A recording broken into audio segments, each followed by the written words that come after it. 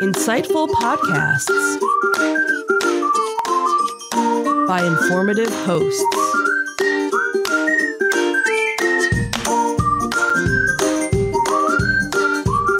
Insights into Things, a podcast network.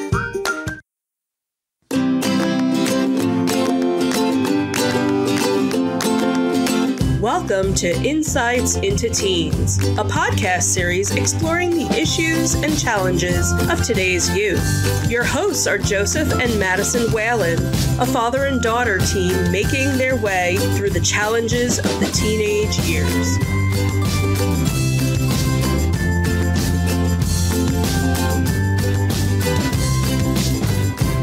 Welcome to Insights into Teens. This is episode 110 Cultural Appropriation. I'm your host, Joseph Whalen, and my compassionate and understanding co host, Madison Whalen. Hi everyone. How you doing today, Maddie? I'm doing all right. How about you? Doing all right. A little hot today. Uh, I think we got up into the 90s today. Hottest day of the year so far, Yep. but that's what they make air conditioning for. Yeah. Anything exciting going on this week? Uh, I just have a couple of quizzes and tests and stuff. Nothing really too big. Okay. Well, it seems like an easy week then. So, this week we are talking about cultural appropriation. We'll help you understand what cultural appropriation is by looking at the meanings associated with the phrase and other vocabulary associated with cultural appropriation. We'll take a look at some real world examples of cultural appropriation and why they're considered cultural appropriation. And finally, we'll look, at, we'll look at ways to know if something is cultural appropriation and how to avoid cultural appropriation in our everyday lives. Ready to get started? Sure. All right.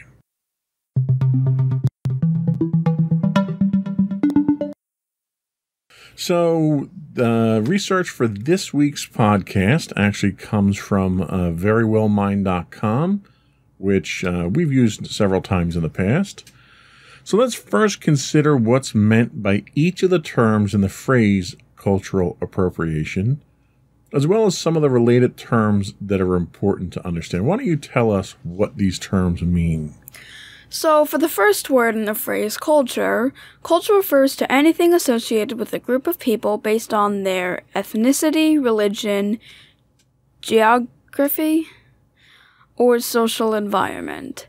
This might include beliefs, traditions, language, objects, ideas, behaviors, customs, values, or institutions. Mm-hmm. Most often, culture is thought of as belonging to a partic- to particular ethnic groups. Yes, it, it is often attributed to ethnic ethnic groups, but there are different types of culture out there. You can have religious culture, you can have geographic culture. A lot of the nationalism that happens can be considered a culture. You know, people that are pro American, that's a culture. Okay. Uh, from a religious standpoint, you know, being Jewish is a culture as well. Um, being uh, Muslim is a culture. There are traditions and everything that go along with that as well. So it's not just ethnicity. Uh, a lot of what we see today with cultural appropriation has to do with ethnicity, with uh, African American cultural appropriation, or uh, Native American or Indigenous people appropriation as well. So it's important to, to keep in mind that it's not just ethnicity, it's other things. Okay. So, what do we mean by appropriation? So, appropriation refers to taking something that doesn't belong to you and most often refers to an exchange that happens when a dominant group takes or borrows something from a, mon- from a minority group that has historically been exploited or oppressed. In this sense, appropriation involves a lack of understanding or of appreciation for the historical context that influences the act of what is being taken. For example, taking a sacred object from a culture and producing it as part of a Halloween costume. Yeah, and that's one. That's a very common form of cultural appropriation. Um, but we also see it in other forms, such as uh, sports teams and mascots. Is another one that's very uh, much in the news today. So there are different ways to appropriate it. one other thing that's associated with cultural appropriation but is different is cultural denigration. Tell us about that. Cultural denigration refers to when someone adapts an element of a culture with the sole purpose of, of humiliating or putting down people of that culture. The most obvious example of this is blackface, which, which originated as a way to put down people of color as having certain undesirable personality traits. Yeah, blackface is something. I don't know if you're familiar with blackface. I think I've um, heard of it before. It's something that sort of came out of the vaudeville era where you had uh, white actors who would put on black makeup and portray themselves as African Americans, but they would do it in a way that was um, insensitive and portraying stereotypes of uh, popular stereotypes at the time of uh, African Americans at the time. So it was not at all an accurate depiction of the culture, and it was deliberately meant to be used at the expense of members of that culture. Mm. Uh, another example of this is all of the or most of the uh, television Western shows in the 1950s and 60s with the cowboys and Indians. And, you know, the Indians were all played by white actors that were in makeup. And the Indians were always portrayed as being uneducated, um, not very smart, savages, and just they were the bad guys. You know, when you played cowboys and Indians, if you were the Indians, you were the bad guys. Um, so that was another form of cultural denigration that was predominant through the 40s, 50s, and 60s. Mm. Now, the flip side of all that is cultural appropriation and respect. Let's talk a little bit about that. I think you mean appreciation. Yes, that you too. said appropriation. Sorry. cultural appreciation and respect, yes. Cultural appreciation is the respectful borrowing of elements from another culture with an interest in sharing ideas and diversifying oneself. Examples would include learning martial arts from an instructor with an understanding of the practice from a cultural perspective or eating Indian food at an ethnic authentic authentic Indian restaurant. When done correctly, cultural appreciation can result in creative hybrids that blend cultures together. And this is really, as a society, this is really what we should be striving for. Uh, because the one wonderful advantage that we have in this country is we have such a diverse culture. We have so many different cultures that we can sample from. And you see this a lot um, when we go into the city. You know, if we go into the city to a convention or something like that, you can drive five or six blocks and go through four different cultures, and you get different styles of dress, different styles of food. You get to experience all of these things in this, you know, wonderful melting pot that we have. And that appreciation of those cultures makes us better for that. You know, for, for the longest time, I didn't get to experience Indian culture or Chinese culture. Um, but when you venture into the city, most cities are like this, you have all these ethnic groups that tend to congregate in their own areas of the city. And you can walk from neighborhood to neighborhood, and it's almost like traveling around the world. It really is the the the richness that you get from the cultures, and it's something to appreciate.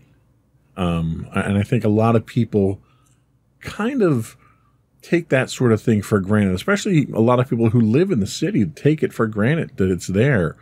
Uh, coming from a suburban lifestyle like I did, you didn't have any of that stuff. You know, the first time that I got to travel through the city, I was amazed at the diversity that you had there and, and just the variety that you had when you went from block to block. Uh, you've experienced it, you know, when we go into the city. What are your what are your thoughts on that level of diversity that a city brings you here? Well, it's definitely really cool to see all these different cultures being represented while you just walk a few a few blocks. It's really amazing how far we've come and how much appreciation and diversity we have right now. And I get to experience other cultures that if we didn't go into the city or this wasn't happening, I probably would have never experienced or learned about, unless I was, of course, in history. Absolutely. And the other thing that we have uh, the advantage of is, you know, we travel to Disney frequently. And one of the shining examples of cultural diversity is going to Epcot, where you can literally walk from country to country. And it's not unlike other things in Disney, it's not actors that are in uh, costume portraying these roles. These are actual residents of these countries that they come in and they're they're part. Most of them are part of the uh, Disney University program, and and they're part of their exchange students, and they live on property for periods of time. But they run the venues, they run the restaurants and the stores and the shops and everything. Ooh, I never knew that. Yeah, and they're actual like you know we go to Mexico. Those are actual you know residents of Mexico who live there and are here on exchange. Um, so it's there's a level of authenticity there that you wouldn't normally expect with Disney. Uh, that's an even more, I think, vibrant experience going going into that and, and experiencing that type of environment. Mm-hmm. You know, when we go to France, you know, we, we ate at the restaurant in France the one time, and our waitress was, you know, from a little town outside of Paris when we talked to her, and like that's really cool, and and they're there to exchange their culture, which is what's what's really nice. I mean, in the when you experience that cultural exchange in the cities, they're not there for the purpose of educating you. They're there to live their lives. So mm. you're oftentimes fortunate enough to experience that culture as part of that regular life experience. Um, but when you go to Epcot, they're there to educate you. They're there to share their culture. They're there to answer your questions. And and there's always there's tons of questions that I always have when I show up to to folks, you know, from their traditional dress to the foods to where they come from and what do they like about where they lived. You know, it's it's to me it's very interesting to get to know people on that level, and Disney offers a very unique experience for that. So we're going to come back. We know what we're talking about now as far as cultural appropriation. We're going to come back and we're going to talk some examples of uh, cultural appropriation and uh, put up some some shining examples of how not to culturally appropriate. We'll be right back.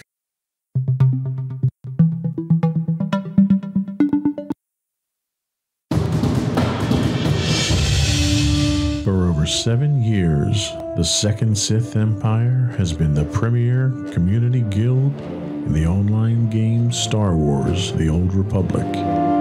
With hundreds of friendly and helpful active members, a weekly schedule of nightly events, annual guild meet and greets, and an active community both on the web and on Discord. The Second Sith Empire is more than your typical gaming group. We're family.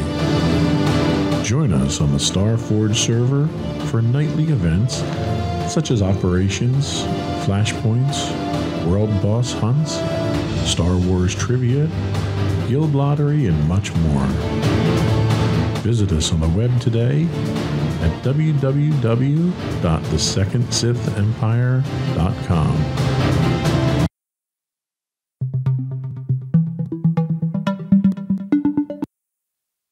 So we've talked about a few examples of cultural appropriation already, but uh, there's tons of examples of cultural appropriation out there, some of which we might not even realize is considered cultural appropriation. Okay. Um, why don't you go down? We have a, a list here. Let's go down the list and we'll dissect that list. Okay, so the first on the list is intellectual Intellectual. intellectual property like patents, copyright, industrial designs, and trademarks. Right. So, can you think of any examples of intellectual property that's been uh, culturally appropriated? Um, hmm. How about something where somebody has a, a copyright on a song, yeah, I was gonna say, like, I was thinking copyright with songs. like sticking to the Disney theme? What's the one song that we always love to sing that came from a popular Disney movie? Um, uh, oh, uh, We do the background vocals, and Mommy does the main vocals. uh, Lion Sleeps Tonight. Lion Sleeps Tonight. That was a traditional African song that was probably one of the best examples of a, a cultural appropriation because it literally was stolen from the the gentleman who wrote it and made it popular in Africa and it was recorded by several different artists in the West before Disney got it and used it in Lion King. And eventually, through the charitable work of uh, a lawyer, they uh, Disney eventually acknowledged the wrong that was done to this particular artist, and they did have a settlement where they paid the family some money for the art itself. Uh, but we're talking 30, 40 years later. So that's a great example of intellectual property that's been appropriated. What's the next one that we have? The next one we have is artifacts pottery, weaponry, artwork, tools, and manuscripts and writing. So, can you think of any examples that might fit this description? Um, How about something like art? So, the first one that comes to mind to me is Native American cultural appropriation. okay. So, a lot of Native Americans have um, their own native crafts that they do. They'll do clothing, they'll do um, tapestries, things like that. And what happens is when uh, you go to a touristy area, say somewhere in Oklahoma or Texas or something like that, you'll a lot of people will go to the Native American uh, reservations and buy the stuff. But what happens is you have a lot of nefarious merchants who copy what they have and they mass produce it and they sell it at more main street uh, mainstream stores. So instead of it being an authentic uh, garment that was made by a Native American, it's some knockoff somewhere that was made in some factory that is being passed off as that. So there's cultural appropriation as far as artifacts go. What about the next one we have? The next one we have is dance. Some examples are from China, the dragon dance, Japan, the kabuki, Kabuki, yeah. Ukraine, Ukraine, the Cossack dance, Cossack dance, Cossack, uh, the Native American, the hoop, the hoop dance, uh, the the Hopi snake, snake. the rain dance, and, And the then stomp stomp, dance. So the I, I listed a number of Native American uh, dances in there because there were so many in the in the research that I did. But what you have that comes out of this may not necessarily be the exact dance, but what you might get would be something that's popularized that um, an artist might wind up doing. Uh, there were a couple of artists, and I, I should have wrote them down, and I didn't. But there were a number of artists uh, who have taken heat for taking Native American dance moves and and uh, African tribal dance moves and incorporating them into their dance routines. And the important thing is, is it's not bad to incorporate that into your routine or your life or, or whatever you're doing. Where you run into a problem is when you don't credit the the origin of it. Where you you take it, you use it as your own, and you pre- pretend that you came up with it. That's really what cultural appropriation is, and that's what a lot of these artists were getting hit for. They weren't crediting the origin of some of the material that they had. So, what's the next one that we have? The next one we have is clothing and fashion, like from India, the sari, Sorry, right? uh, Japan, the kimono, Kimono, yeah. kimono, Um, and Scotland the kilt. The kilt, yeah. So these are a couple of of uh, very common pieces of clothing that are culturally significant to these other areas of the world. That again, very similar to, to the example that I gave with the Native Americans, where they're producing their own goods, but they're being copied. You're getting some of the same thing, but in this case here, they're referring more to taking the inspiration for these and having fashion designers or clothing producers produce clothing that's based on those, but never crediting the origin of them. Mm. So you run into some issues like that. Like a lot of times you'll go to the Ren Fair and you'll see people in kilts. That's a form of cultural appropriation, but not in so much that you're trying to pass it off as your own. Um, the one thing with, with kilts, unfortunately, I'm not familiar enough with the cultures of the other two examples to talk to great detail about. But with kilts, the pattern of the weave in the kilt itself is attributed to a family or a clan. So we would have our own, if we were Scottish, we would have our own pattern that we would wear. So it's not just the style, but it's the actual design of the pattern in that piece of material that is culturally specific. So that it goes an extra level deep there. Mm. So if you were to dress in a kilt in Scotland, you would be recognized for your clan based on the pattern that's in the cloth itself. Hmm. So what's the next one that we have? Uh, the next one we have is language, and all languages are cultural in their nature. Yeah, and this is probably the uniquely cultural thing that everyone has in their culture, and it's the ability to communicate. Now, just because you may know three different languages doesn't necessarily mean it's cultural appropriation.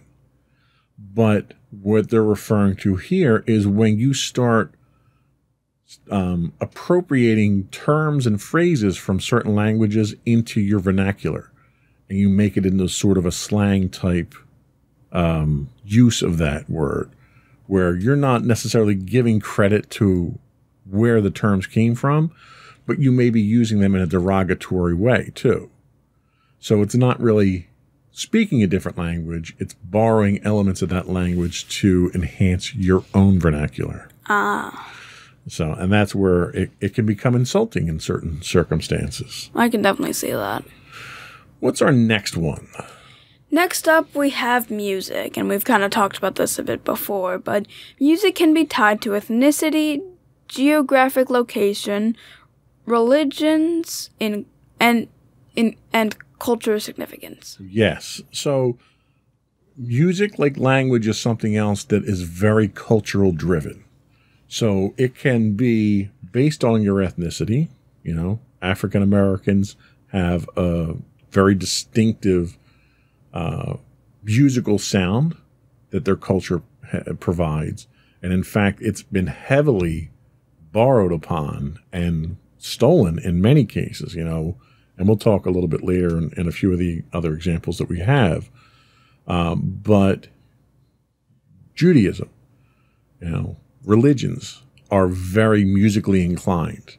Uh, even Christianity is very musically inclined. Islam, very musically inclined. They're all cultures that are, they're all art forms that are culturally based. Uh, and when we borrow from any of those without giving them credit, it's cultural appropriation.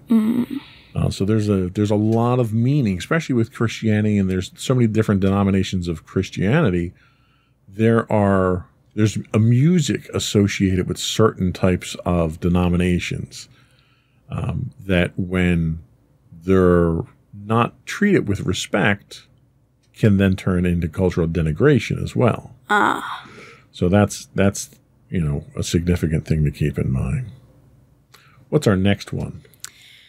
Uh, the next one we have is religious symbols, like for Christianity, the cross, Judaism, the Star of David, Buddhism, the Wheel of Dharma, Dharma, uh, Druidism, Judaism, Tris, Triskelion, the Triskelion, Islam, the Star of and starring Crescent.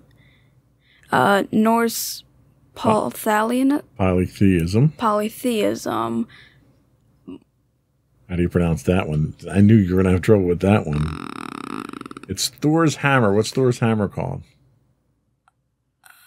Not Mew Mew. I know. that, that was like mm, one Mjolnir. Mjolnir. Mjolnir, yes, and it's it's a it's a hammer symbol that they use in their in their religion. So again, you know, there are. Let's take the cross for example. So there are Christian crosses. There are there's what's called an act cross that's actually circular at the top. Okay. There's probably four or five different styles of the Christian cross. All of these stem back to the, uh, you know, the crucifixion of Jesus.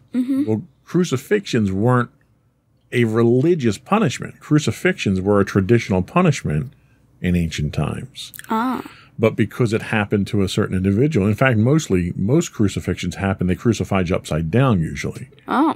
um, which was an interesting distinction. But this was a, an example of that symbol being borrowed and used as a symbol of faith moving forward. Oh. Um, same thing with your Star of David and your um, your star and your crescent. It, these are all symbols that mean something to the adherents to those religions. And when we um, take those and we use those in a disrespectful manner, or we use those in a manner where we're not treating them with the reverence that the culture itself believes they should be, then it's cultural appropriation, cultural denigration. Ah. So th- those are just some some examples. Now, the next thing we kind of have to talk about is the um, example or the um, groups from which um, cultural appropriation is typically targeted to in terms of the United States. Uh, I don't. I, I don't have enough information globally to talk about it. I know there is cultural appropriation that happens in other areas of the world, but in the United States, probably the number one group that is a target for cultural appropriation is African Americans. Um, whether it's their music, um, hairstyles, style of dress, um, it, these are all things that are being taken. And and when we talk culture just like we have our own culture as far as our family goes or as far as relig- religion goes where you know you're you and mom you're jewish. So there's a culture around that and the things that are associated with that culture are things that are near and dear to us and when someone violates that by borrowing it without acknowledging or giving us credit for it, or if they borrow it in a way to make fun of that culture, it's going to, to bother you, right? Mm-hmm. So some of the groups that are targeted for this are African Americans, Asian Americans, um, especially uh, recently, Hispanic Americans, and Native Americans for the longest time, where uh, these are groups that have been looked down upon by the majority of people in the country, and they've they're sort of downtrodden people that their culture has been used against them almost, um, and I think we're as a society we're finally reaching a point where we acknowledge that and we acknowledge the richness of these cultures too. Can you think of any other cultures that might be targets in the United States or even in, in anywhere in the world? Um. hmm. You know, if we just rip it from the headlines now and we look at the conflict that's happening uh, in Israel, you have the pa- Palestinians who they feel their culture is, is under assault at this point in time, and they're in open conflict with the Israelis. So there's two groups right there that may feel that they're, they're being oppressed culturally. Uh, you have uh, Uyghurs in um, uh, where are the Uyghurs at? China. I'm sorry, China. It's an it's a there Uyghurs are a Muslim group in China Okay. that are being uh, downtrodden by the the communist Chinese government. Uh, it's not so much cultural appropriation as that's cultural denigration there, where they're openly trying to oppress them. Um, but if you look from a religious standpoint, historically, you know, you see what happened to the Jews in Nazi Germany. You know, you're doing a lot of research now with your uh, Diary of Anne Frank. So you are familiar with some of the denigration there and the fact that they what what was the one thing that the Germans the Nazis required the uh, the Jews to wear They had to wear a yellow star on their chest. right and the yellow star was a star of David so it was the the the Nazis basically appropriating Jewish culture to mark Jews during that time so they could be oppressed so this isn't a new phenomenon. This isn't something that just started happening. Um, cultural appropriation and cultural denigration is something that has happened for centuries now. I think nowadays we're finally starting to combat it, which is nice. Um, there were a few few specific American uh, examples that I wanted to talk about as far as appropriation to kind of you know hit home on it. And the first one that a lot of people don't realize is cultural appropriation is rock and roll. Really? Tell us about this one. In the 1950s, white musicians invented rock and roll. However, the music style was borrowed from black musicians who never received credit. Music executives choose to promote white performers over black performers, reinforcing the idea that cultural appropriation involves impacts on non on a non-dominant group. Yeah. So rock and roll itself is cultural appropriation. Uh, it was a collection of a number, and even uh, in interviews, Elvis, the king of rock and roll, even acknowledged that a lot of the roots that he had with rock and roll that that led his rock and roll career were in African American music and culture. Um, gospel music was a big influence on him. Uh, soul music, you know, the he grew up in in uh, Mississippi. You know, he moved all around the South, so a lot of what his influences were, at least he gave credit to the African Americans. The area that didn't were these music producers. So you had um, one of his famous songs was Blue Suede Shoes. Blue Suede Shoes was originally written and performed by a black man. And when Elvis wound up making it big, the producers put him in the forefront, not the original artist of it. Uh, and it was because of this cultural appropriation attitude and this um, this attitude of not promoting minorities. Yeah, um, there was actually um a version of that I remember in the one show me and mommy used to watch. Basically, it was dinosaurs versus swamp monsters. I don't entirely remember what they were called, but basically the swamp monsters were supposed to represent the minorities and like they had played music that was similar to the blues music. Right. And basically, when um, the one dinosaur who wanted to help out and promote the music gave it to the producer, the producer used the music but had a dinosaur singing over it. Yeah. So I'm pretty sure. I'm pretty sure that was what they were aiming for showing. And sadly, that's stuff that still happens to this day. You know, you have some artists out there who just never get to see the, the limelight because of this type of thing. Hmm. So the next example you have is a sweat lodge. Have you ever ever heard of a sweat lodge? I don't know. So in 2011, a motivational entrepreneur named James Arthur Ray was convicted of three counts of negligent homicide after the death of three participants in his pseudo sweat lodge. This is an extreme example of cultural appropriation of Native American tradition. So the sweat lodge is a Native American tradition that's sort of a meditative type of uh, cultural event that Native Americans would do. Okay. And they would, you know, the, the idea is you push the body to its extreme and you experience uh, higher level thought in the process. Okay. Well, this individual happened to be using it as some type of motivational type of exercise and charging a small fortune for it. And he was discouraging the use of these sweat lodges for safe use. And eventually he wound up killing people while he was trying to, to use this activity. Um, and as a result, the Native American um, legitimate concept of this meditative process came under fire for it.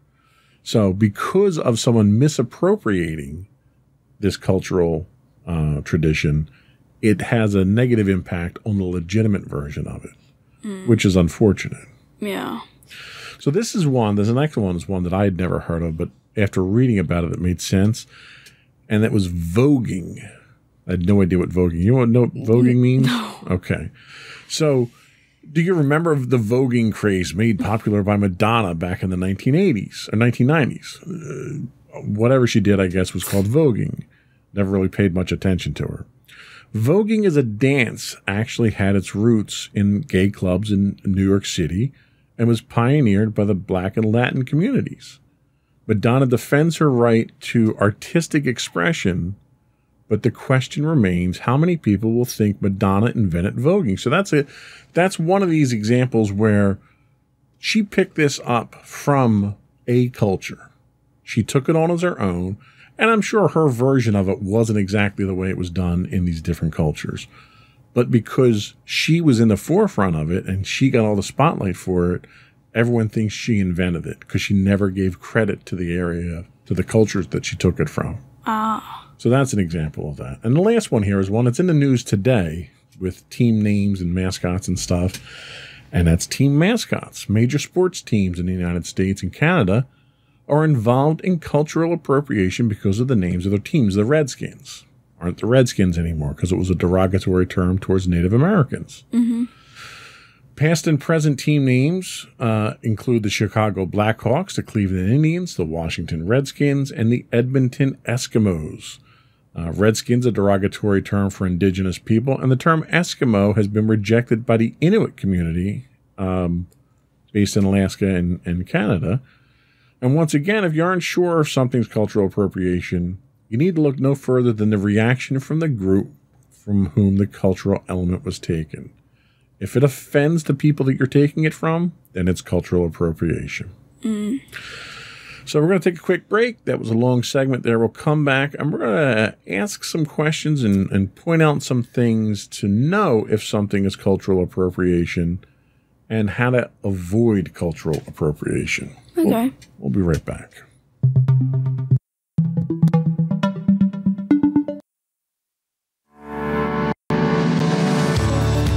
Insights into Entertainment, a podcast series taking a deeper look into entertainment and media. Our husband and wife team of pop culture fanatics are exploring all things from music and movies to television and fandom. We'll look at the interesting and obscure entertainment news of the week. We'll talk about theme park and pop culture news. We'll give you the latest and greatest on pop culture conventions.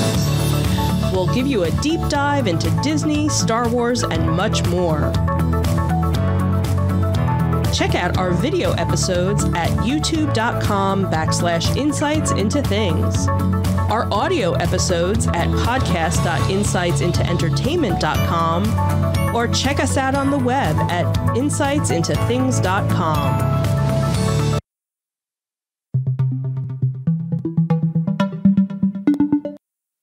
Welcome back to Insights into Teens. Today we're talking cultural appropriation. And before we get into how to know if something's cultural appropriation, you had another example of cultural appropriation by our favorite company, Disney. Yeah, um, I remember hearing um, at some point that Disney actually had cultural had cultural appropriation happen to one of the most popular films, Peter Pan. Specifically, the scene where the when um, they all meet the Indians on the island. Um, specifically, when the song plays, basically talking about red faced man, and Disney received a lot of flack for it, and they actually had to put a disclaimer on it. I actually just thought of it. Yeah, and in fact, sticking with that same thought, Disney's in the process of making changes to their Jungle Cruise to remove some of the cultural uh, insensitive elements that are in the Jungle Cruise. Okay. But what is, how do you know if something's cultural appropriation? And how do you decide whether or not you should appropriate culture? Here's a few questions that, that you should ask anytime that you feel you might be appropriating culture. What's your goal with what you're doing? You know, are you trying to embrace it, enjoy it, learn from it? Are you trying to enhance yourself from it? Or are you trying to make fun of the culture itself? What's our next one? Our next one is Are you following a trend or exploring the history of a culture? Right. So, go ahead. So I'm guessing it would be differentiating between what you think is popular or trying to express and explore and learn the history of a culture. Exactly. Exactly. The next is Are you deliberately trying to insult someone's culture or being disrespectful? And I think this one is pretty straightforward, but sometimes people try, uh, they don't try to be disrespectful. You know, you may be trying to be entertaining or tell a joke or something like that, and it turns out to be disrespectful. You just have to be mindful of that. What's next? Next up, we have Are you purchasing? Purchasing? Purchasing something that is a reproduction of a culture or an original? Um, example would be artwork. Yeah, that's something we had talked about already. How would people from the culture you're borrowing an item from feel about what you're doing? Are they insulted by it? Are they um, complimented by it? You know, if you are taking something and using it to highlight uh, a, an injustice or how a culture is being treated, that might not be a problem at that point. Mm-hmm. Next up is Are there any stereotypes involved with what you are doing? I'm guessing just like, are you making one specific group or a specific culture into a stereotype? And pretty mo- pretty sure most stereotypes are pretty bad. Exactly. Are you using a sacred item in a flippant or fun way? Like, are you not taking that cross or that Star of David seriously if it's religion? Are you using a sacred headdress as a costume for Halloween where it would be insensitive? That type of thing. Mm-hmm. Are you borrowing something from an ancient culture and pretending that it's new? Basically, taking something you think it's cool and thinking that, hey, it's okay to say that it's new. I completely created this on my own. Exactly. Are you crediting the source or inspiration of what you're doing? Not, there's nothing wrong with appreciating culture or using culture, other people's culture. You just have to make sure that you're giving credit where credit is due. Yeah, just like if you really try using any inspiration. Exactly. Uh, we worry. Um, if a person of the original culture were to do what you're doing, would they be viewed as cool, or could they possibly face discrimination? Okay. I'm not, not going to I expound don't on know. that one. I don't know how to expound on that. I'm sorry. Are you wearing a costume that represents a culture, like a geisha girl or a tribal wear style costume? Um, these are again a lot of Halloween costumes. Excuse me. In in my research, Halloween costumes took a lot of heat for it because you're really insulting a culture by wearing something like this. Yeah. And what's the last one we have? The last one we have are Are you ignoring the cultural significance of something in favor of following a trend? This kind of goes along with the other question of Are you basically just doing it because it's popular? And Right. are you ignoring and are you not respecting it because of it? Right. And I think I think the idea is if you can answer these questions to your satisfaction, I think I think the first, you know, three or four questions from this group will probably give you a good idea of what you're doing as cultural appropriation. Now, there's ways to avoid cultural appropriation. You know, if you ask yourself the list of questions above and start to under uh, explore your underlying motivation of what you're doing is a very good reason. Like, why are you trying to use these elements from this other culture? Uh, again, is it to enhance yourself? Is it to broaden your understanding of that culture? Is it to show appropriation of that culture? Uh, uh, not appropriation, You re- appreciation. You really keep missing mix, eh, mixing those words up. is it are you showing appreciation for that culture? Like for instance i i wasn't raised jewish but i still participate in the jewish holidays that we have here.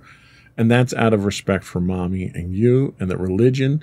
And it's to broaden my horizons and my experiences as well. It's not necessarily to exploit it or to make fun of it or anything like that. Yeah. What's the next suggestion The next suggestion is to give credit or recognize the origins of the items that you borrow or promote from other cultures rather than claiming them to be your own original ideas. right and i think that's very important i mean otherwise it's plagiarism right mm-hmm. so you need to not do that Yeah.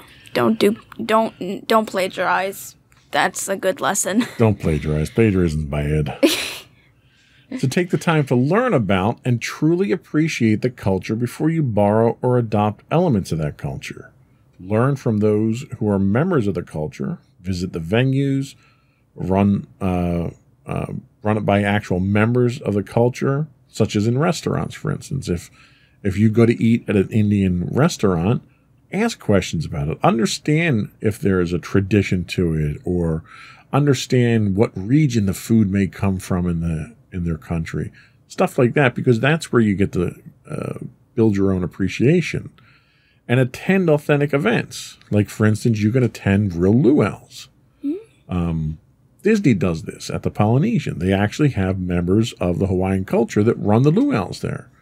And you can learn a tremendous amount about people and their culture by exploring their art forms, their visual arts, their music, their dance, stuff like that. There's so much you can learn about the culture.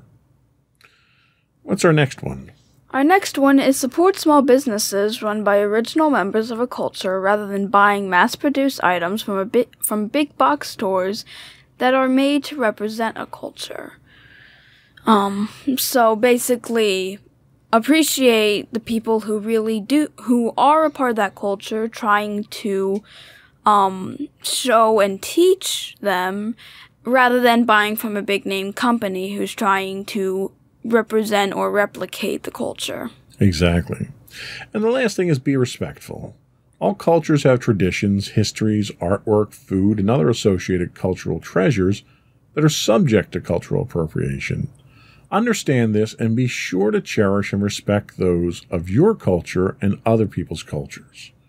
And really it's it's it's the basic human idea of treat others the way that you'd want to be treated.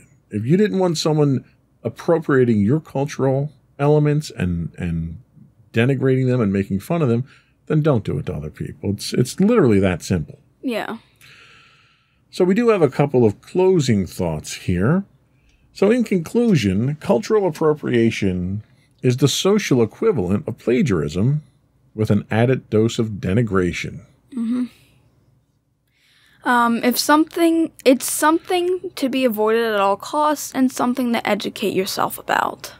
In addition to watching your own actions, it's important to be mindful of the actions of corporations and be choosy of how you spend your dollars, as that's another way of supporting members of the non dominant culture. Do what you can when you can, and you learn to do better. Right. So if there's only just a little bit that you can do, like for instance, if I'm at a touristy location and I have the option to buy, um, let's say a, a, an area rug, uh, like a like a Persian rug, okay, I can either buy it from an authentic artist who created it themselves, or I can run down to the local convenience store, the local you know, box store and buy it. Well, in that situation, it's it's kind of a no-brainer. You buy it from the people who make it because not only will you most likely get a better quality product, you're supporting that culture, and chances are there's a lot more history to that piece at that point in time. There's a story behind it. You know, it's not something that came off of a factory machine somewhere. Mm-hmm. Get to know the culture, learn about it, make it an opportunity to expand your own horizons. So, we're going to take a quick break. We'll come back and we'll get your closing thoughts.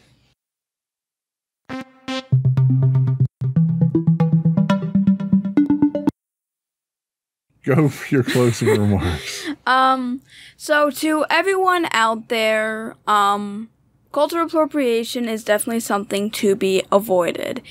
Like we said, it is the, um, social equivalent of plagiarism. And everyone knows plagiarism's bad. Um, if you are going to try and represent a culture, do it properly. Under know have enough knowledge of the culture in order to show it to more people. And if you do do something based off of a culture, at least try and give credit where credit is due. Sage advice as always. Before we go, I would encourage folks to subscribe to the podcast. You can get video versions of the podcast listed, as insights into things Audio versions of the podcast you can find listed as Insights into Teens. We're available on Apple Podcasts, Spotify, Google, Stitcher, iHeartRadio, TuneIn, Amazon, and pretty much any place you can get a podcast. Uh, I would also encourage folks to write to us, give us your feedback, give us some show suggestions. You can email us at comments at insightsintothings.com. We are on Twitter at insights underscore things. You can get high-res versions of our videos on YouTube at youtube.com slash insights into things. We stream five days a week on Twitch at twitch.tv slash insights into things. You can get audio versions of the podcast at podcast.insightsintothings.com. You can get us on Facebook at facebook.com slash insights into things podcast. On Instagram, we are at insights into things, or you can get links to all those on our website – at www.insightsintothings.com. And you. And don't forget to check out our other two podcasts, Insights and Entertainment, hosted by you and Mommy, and Insights into Tomorrow, our monthly podcast, hosted by you and my brother Sam. Nicely done. You didn't flub that one. Yeah, surprisingly. Uh, I think that's all we had this week. Another yeah. one in the books. Bye, everyone. Bye.